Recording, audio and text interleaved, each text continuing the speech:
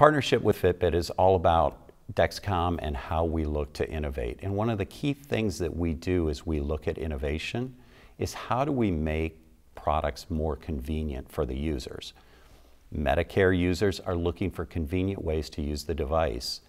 Fitbit, especially with their new watch, allows a, an individual to get glucose readings in a, in a place that's more convenient for them. The nice thing about the Fitbit watch is it's both iOS and Android, so it's a great opportunity in this partnership to be able to get beneficiaries their glucose readings on another device. Dexcom users can expect this relationship with Fitbit to, again, be another example of Dexcom working to provide more convenient tools for people to view their glucose results.